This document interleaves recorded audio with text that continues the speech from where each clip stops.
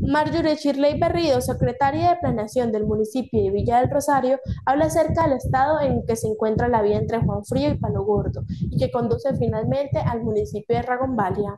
Actualmente la vía tiene un punto crítico que fue ocasionado por el desbordamiento del río Táchira. Entonces hay un paso de la vía que limita para vehículos pequeños el transporte. Eh, nosotros tuvimos la semana pasada reunión con el Comité Departamental de Gestión de Riesgo y la coordinadora, la doctora Adriana Milena, nos va a colaborar en gestionar maquinaria para poder hacer un tramo, un arreglo en la vía. Eh, primero hay un proyecto que ya está aprobado por el Comité Departamental de Gestión de Riesgo, que es el dragado del río. Ese proyecto es el principal, ¿para qué? Para evitar que se siga desbordando el río Táchira hacia la vía. Y luego sigue el arreglo de la vía porque de nada sirve hacer un arreglo en la vía y que el río se vuelva a desbordar. O sea, lo primero es hacer el dragado, pero como hay tanto, esto, hay un tramo que está muy crítico y está limitando el paso, eh, nosotros hemos solicitado colaboración para que asignen una maquinaria por lo menos y atender el punto crítico y puedan dar paso a la vía y evitar lo que pasó ayer, que hubo unos vehículos que quedaron atrapados en el barro y tuvieron de unas horas en la vía que no hubo paso. Bueno, eh, ingeniera, tengo entendido que como el río es binacional, cada trabajo que se le va a hacer al río tendrá que tener la anuencia o, el permiso de las autoridades venezolanas.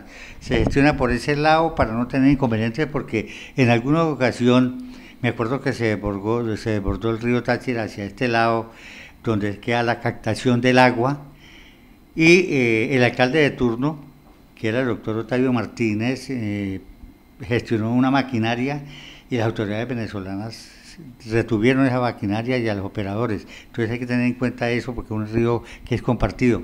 Y, en el sector donde queda la captación del agua, Miraflores, hay un tramo antes de bajar a lo que era la antigua eh, Hacienda Juan García, que prácticamente ya no queda vía, está que se, que se va el talú hacia el río. La reunión que tuvimos la semana pasada fue un representante de Aqualia, que es la empresa prestadora de servicio de acueducto y la que tiene el punto de captación. Fue también un representante de la Secretaría de Fronteras. La idea es hacer un convenio binacional para que, para cuando empiecen a intervenir el río, no generemos problemas o conflictos con la parte de Venezuela. O sea, antes de iniciar ese trabajo toca tener ya el convenio por parte de Venezuela y Colombia ya firmado. Ingeniera, ¿qué proyectos se, se, están gestionando a través de esta oficina teniendo en cuenta que pues eh, con Carlos eh, Julio Socha hay que trabajar, hay que gestionar, hay que presentar proyectos? Eh, ¿Cuáles son los que se van a, que la gente tiene que saber que se está trabajando? Por gestión de riesgo, ahorita vienen cuatro proyectos que son para mitigación.